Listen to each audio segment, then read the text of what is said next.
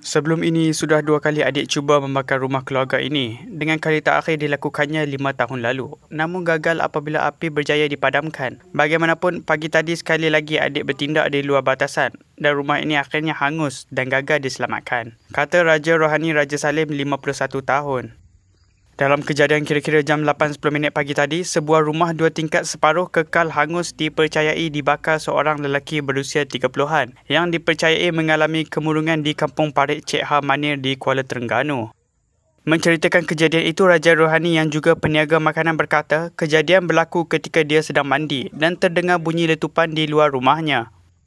Menurutnya, dia meminta suaminya melihat apa yang berlaku dan mendapati rumah keluarga yang dihuni empat adik-beradik tiri yang jaraknya kira-kira 100 meter dari rumahnya terbakar.